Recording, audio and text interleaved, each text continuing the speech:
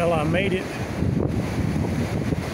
one pier down to the other this morning after doing a real nice bike ride. Thought I'd show y'all how pretty I look in the morning time.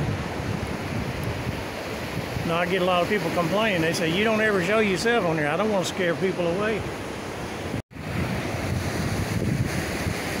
Well, I'm going to start my walk back. Make it down to the other pier, and I think I will have hiked on the sand enough today.